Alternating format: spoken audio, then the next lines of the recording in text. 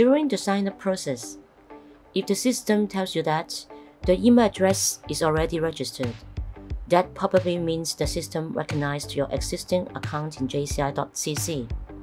What you need to do is to retrieve your password. Just follow these steps.